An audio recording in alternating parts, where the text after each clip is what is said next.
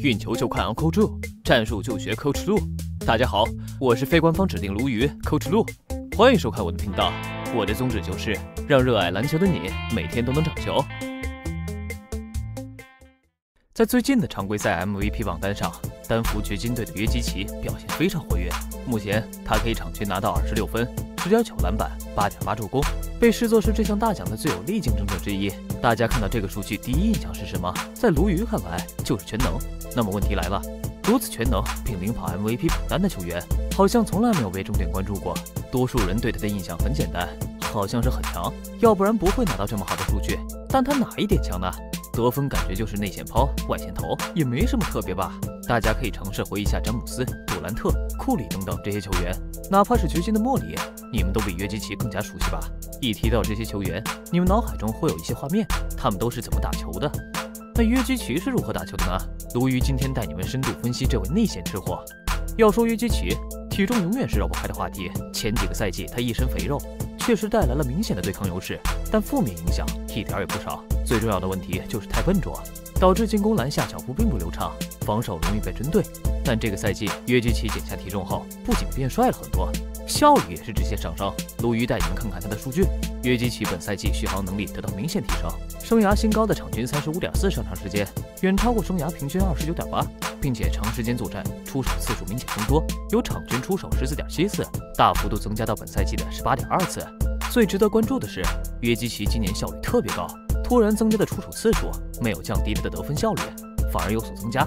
投篮命中率由去年的百分之五十二点八增加至百分之五十六点四，三分命中率百分之四十一点八，生涯新高。得分、篮板、助攻多项数据都刷新了约基奇的生涯新高，而且是大幅度增加。减重有这么大的效果吗？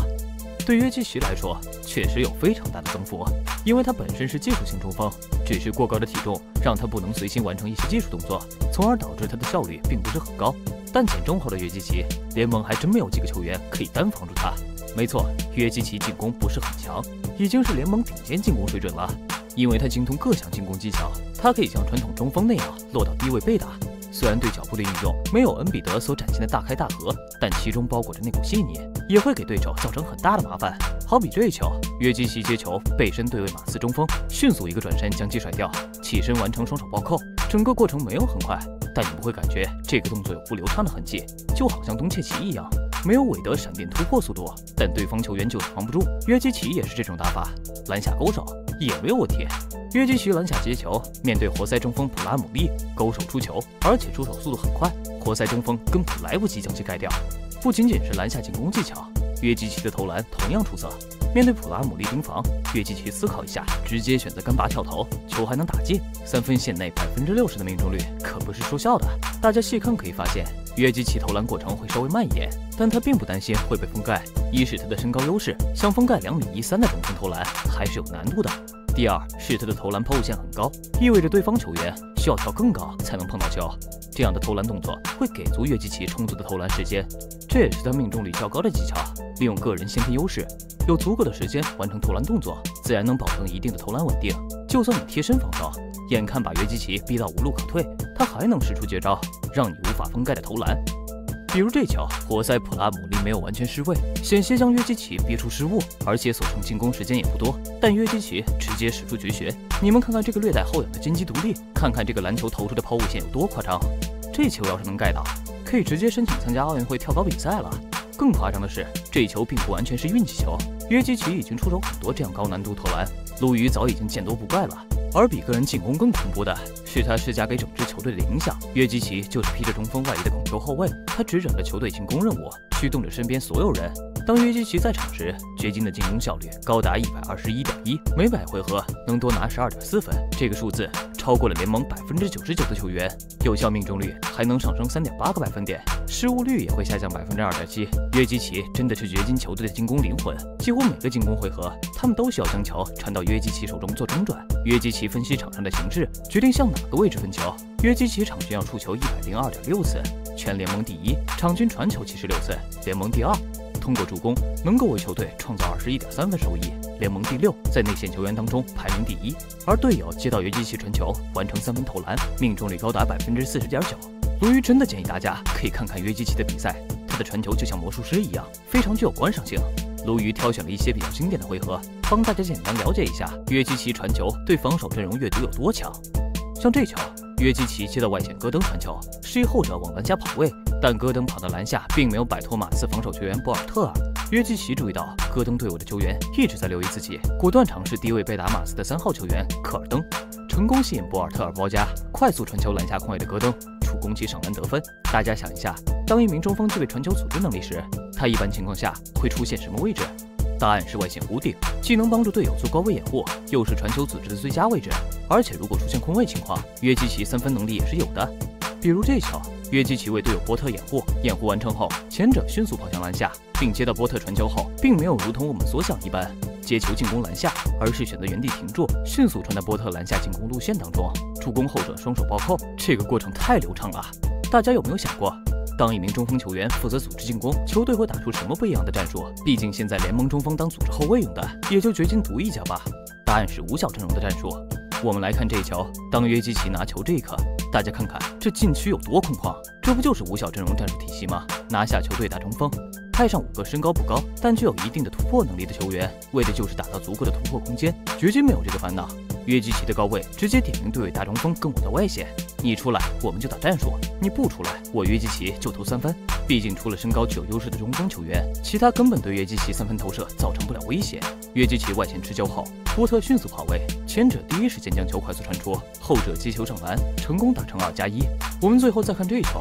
真的传出勒布朗詹姆斯的感觉。约基奇外线接球，同时掩护队友莫里斯顺下禁区。就当所有人以为他会传给莫里斯时，突然一个快速传球，直接传到另一侧三分弧顶的戈登，打得所有球员措手不及。戈登接球后三分果断出手，直接打进。这一球展现的就是约基奇大范围的传球视野能力，就好像我刚才所提到的勒布朗，他也传出过不少类似的球。一个中锋能将传球能力开发到这种程度，真的是历史仅有。而这就是约基奇的价值。正如威尔巴顿所言，他既能投三分。有篮下脚步，可以在禁区附近终结进攻，也有接球就投的能力，再加上抛投、中距离、面框持球等等。老实讲，只要他愿意，他每晚都能为所欲为，你根本无法阻止他的自虐。也正是在这样的比赛表现之下，本赛季的约基奇交出了统治级的高阶数据表现：个人效率值三十一点七，联盟第一；BPM 十二，联盟第一；胜利贡献值十点一，联盟第一；不可替代值五点五，联盟第一。但现在莫里缺席，导致掘金未来变得迷茫许多。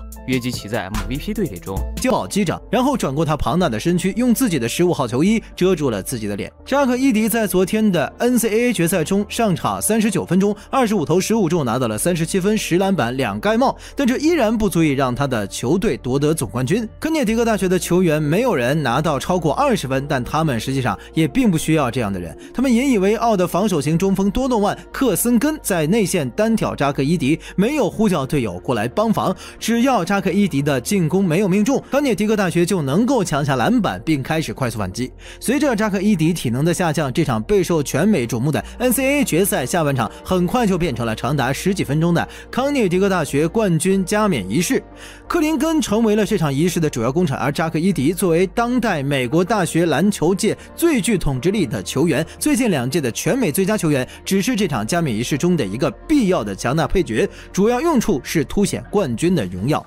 普渡大学的扎克伊迪和康涅狄格大学的克林根是本赛季 NCAA 中最具影响力的两名球员。扎克伊迪身高二百二十四公分，体重一百三十六公斤，而克林根身高二百一十八公分，体重一百二十七公斤。毫无疑问，他们在本赛季的比赛中展现出了强大的统治力。鉴于看大量 NCAA 的比赛对我们来说多少显得有些不现实，我们可以通过一些简单的捷径证明上面这个观点，就是看看全美大学生的 PER 值排名。扎克伊迪三十九点二。高居榜首，克林根三十五点四。紧跟其后，这让这赛季的他们和2018至19赛季西安在杜克的40.8和上赛季扎克伊迪自己的40.2一起成为了近六个赛季 NCAA 球员的 PER 前四。在正如某些老球迷所言，在天赋层级越低、技战术水平越差的竞争环境里，他高呀这句名言就越有用。这两位巨人不仅个子高大，而且身材魁梧，拥有结实的体格和粗壮的小腿。他们在个人表现和球队战绩上双双统治了今年的 NCAA。最最终得以在决赛里决一雌雄，堪称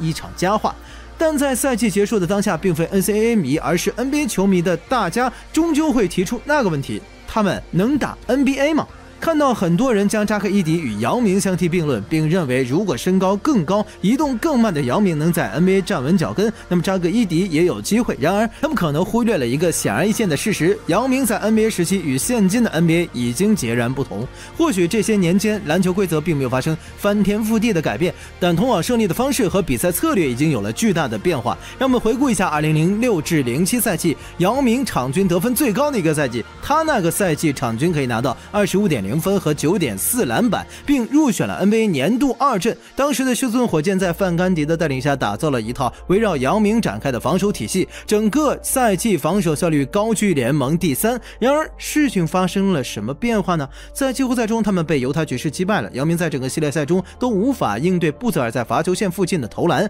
这让当时的中国球迷感到十分无奈。那是2007年，而如今已是2024年。好消息是，如今没有多少中锋会在罚球线附近投投篮了。但坏消息是，他们开始频繁尝试三分球。在2007年 NBA 的赛场上，还活跃着很多像姚明一样的巨兽。立陶宛的221公分巨人大 Z 伊尔戈斯卡斯，那个赛季与詹姆斯一起打进了 NBA 总决赛，而已经达到了150公斤重的小鲨鱼艾迪库里，那个赛季站在了场上打了2849分钟，场均还能够达到19.5分和7.0篮板。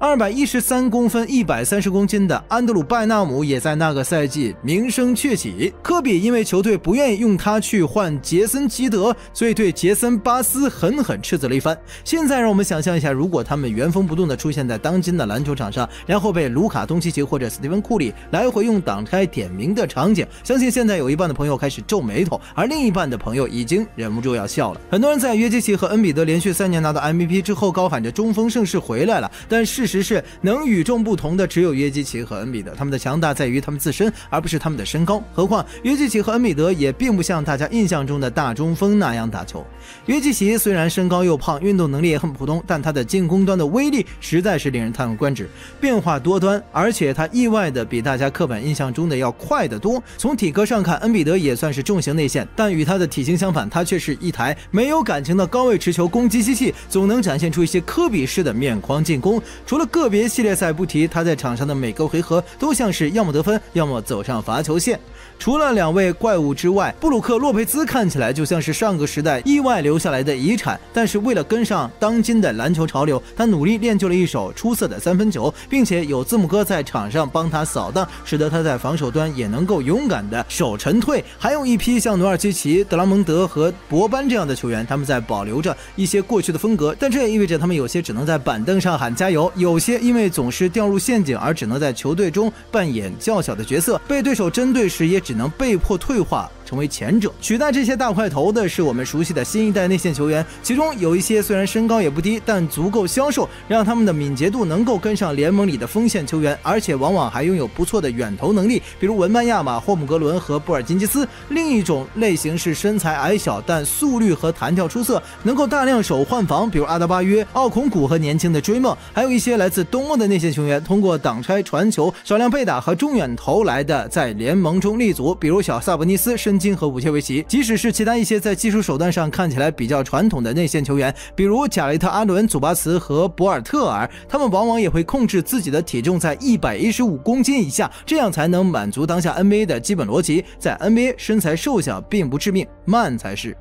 在 NBA，即使是身材高大的巨人，也必须每隔二点九秒就离开游击区，因为 NBA 规则规定了防守三秒。而在这个联盟中，出色的射手实在是太多了，因此沉退式的防守策略的局限性也非常大。此外，NBA 的明星外线球员技术精湛，他们的投篮命中率极高，因此重型内线出去换防几乎等同于为对手送出一次空位投篮的机会。所有这些因素都对大个子球员，尤其是那些强壮而缓慢的大个子球员来说，都是极不友。友好的，在 ESPN 最新的一次预测选秀中，球探们依然将扎克伊迪视为今年夏天潜在的乐透秀之一，而克林根则位居前三。这一预测延续了我们之前提到的逻辑。克林根有一个明确的角色定位，球探们将他的模板定为去年美国男篮成员沃克凯斯勒。相比于扎克伊迪，克林根的脚步更为灵活，运动能力更优秀。他擅长远离篮下进行延误、补位和换防小个子球员。在对阵西北大学的比赛中，他多次成功换防。对方后卫，轻松送出了八个封盖。也许他的这种比赛逻辑在 NBA 面对更高水平的外线球员时会遇到挑战，但至少在 NCAA 层级的比赛中，他充分展现了自己的这些能力，这已经足够了。与此同时，扎克伊迪是一个更为极端的模型，他的身材更高大，动作更加缓慢，更依赖队友在防守端的支援。当然，他也拥有更出色的处理球能力、低位技术和对抗能力，但这些能力未必在 NBA 中得到充分利用。如果他想要在 NBA 获得上上场时间，他必须需要调整自己在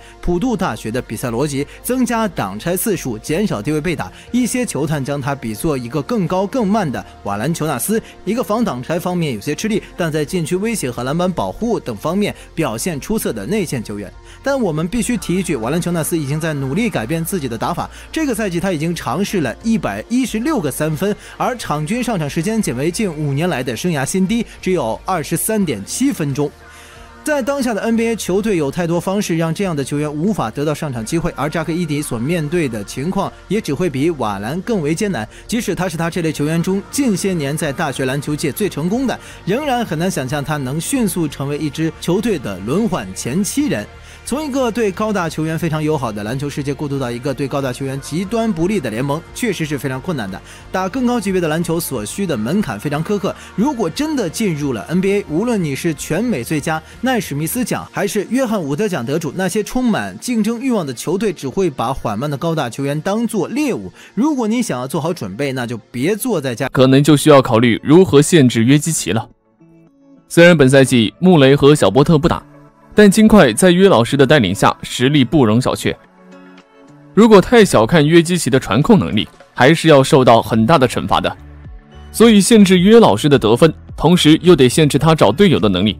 这对于所有球队来说都是一个大难题。而如今联盟防守第一的塞尔提克给出了答案。金块在面对塞尔提克的比赛，可以说塞尔提克完全压制了金块。虽然塞尔提克在首节比赛吃到了惩罚。但从第二节，绿军开始改变防守约老师的策略，限制了约老师的发挥，从而比赛节奏就彻底被绿军掌控了。绿军的防守依然令人感到惊喜，但又没那么意外。那么这部影片就让我们来看一看塞尔提克是怎么限制住约基奇的吧。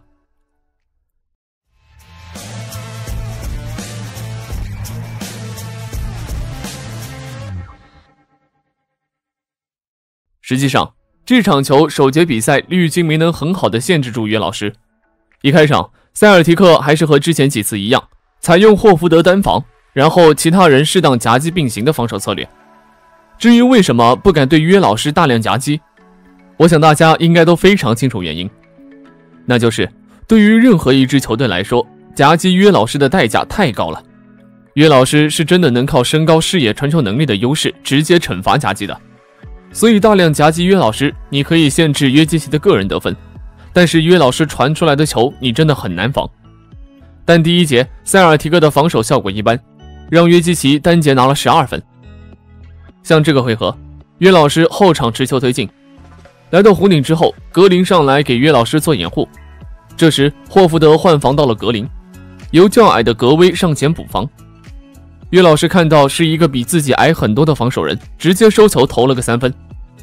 除了在弧顶的进攻起手，约老师本节比赛在低位这片区域的进攻也非常强势。比如这个回合，约老师从肘区位置先是给队友做了一个掩护，随后又接莫里斯的掩护兜到了右侧低位区域。虽然霍福德被掩护挡了一下，但在约基奇接球时，霍福德还是站在了约老师面前，但约老师根本不管这些。直接顶着防守干拔中距离，还有这个回合，约老师在右侧低位被打霍福德，约老师一个转身就把霍福德过掉上篮了。等霍福德反应过来，已经不敢趟了，还赔上了一记犯规。虽然说霍福德算是内线防守很好的球员，但是面对约老师，霍福德单防显然是不够看。而罗威也帮霍福德夹击了一两个回合，但最终的结果都是赔上犯规，送约老师上罚球线。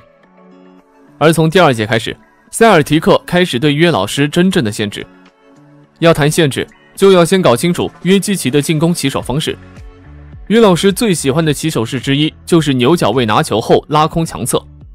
这时候对手夹击起来就很不容易，给约老师提供一打一的单打空间。哪怕从弱侧来了夹击，约基奇也能够看到，可以随时准备出球。而且由于约老师可以通过各种花式到哪个位置接球，所以限制他接球基本上做不到。第一节，约老师就通过了这种方式打了三次，霍福德单防两次全部失败，罗威帮着夹击一次也被吹了犯规。可以说，约老师这一招在第一节比赛，塞尔提克要么纯单防，要么上夹击的防守策略是防不住的。所以到了第二节，面对约老师这样的进攻起手式，塞尔提克在这里面加了一点调味剂。我们看这个回合，约老师的低位单防，这球完全是由霍福德一人单防的，而其余四人基本的站位基本都是防自己的人，所以当约老师转身进来后，根本没有人能补防过来。然而我们再看这个回合，同样的是约老师在低位单打，但我们可以注意，除了单防约老师的格威。绿军剩下四人摆上了一个联防站位，简单来说就是一盯四连，目的就是限制约老师的攻框。约老师要是投中距离随便，并且由于强侧被清空，只有约老师一人，绿军的联防可以只照顾弱侧，这样即便是约老师传球出来，也可以及时回防。整整第二节，约老师低位传球助攻队友成功的只有一次，所以无论是约基奇个人进攻还是助攻队友。塞尔提克在第二节都给约老师狠狠上了一次针对，但他可是约基奇呀，一个低位进攻被限制了，约老师当然会用别的方式得分，就比如在弧顶发动进攻，无论是自己投还是通过传导球助攻队友，都具有一定的威胁性。但塞尔提克的防守想法也很简单明确，可以放约老师投三分，但想往里走不行，必须把人摆在你面前。第二节开始后。乌杜卡很喜欢用格威去对约老师，而不是用霍福德。这样的做法也很明确，格威并不能对约老师的投篮有过多的限制，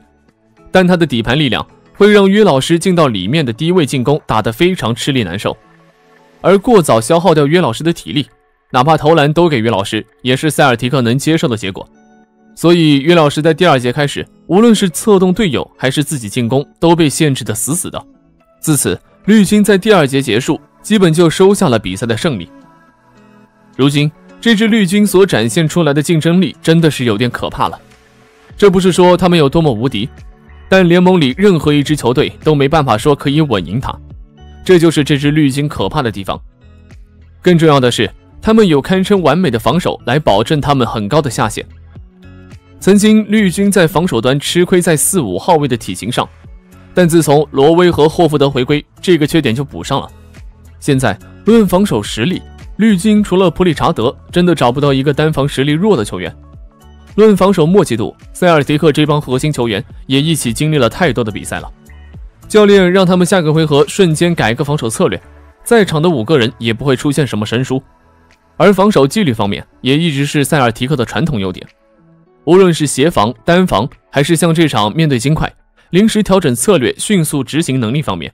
塞尔提克在联盟所有球队里真的是堪称教科书级别，但唯一的弱点就是他们的进攻了。就像前文所说，防守保证下限，那进攻的好坏就决定了他们的上限。塞尔提克的进攻有时会打得顺风顺水，但有时自己打着打着就不行了。这最大的原因还是和他们的球员个人进攻能力有关。你会发现，塞尔提克的球员进攻能力或多或少都会有那么些缺陷。塔图姆和布朗是这支绿军进攻能力最好的两名球员，他们的得分能力也是很强，但这两人在硬战中的传球能力还需要考量。而本赛季投篮命中率最高的是罗威，你会发现他只会吃饼，在篮下完成进攻，而三分最准的格威也是一个道理，都需要队友的传球来帮着创造机会。而那些会传球的，比如说斯马特、怀特等人，三分时有时无。除了传球和防守，他们很难拿出一项稳定输出的技能。和以团队著称的太阳相比，你会发现，在进攻端，塞尔提克的漏洞还是不少的。即使这些漏洞补上，他们也没有说很稳。一九赛季的暴龙防守可以说和如今的塞尔提克有得一拼，并且他们的进攻也是多元化的。可他们依然有多次在进攻端哑火的情况出现，最后还是靠着伦纳德单点爆发，多次拯救了球队。而现在的问题是，塔图姆会有这样的能力吗？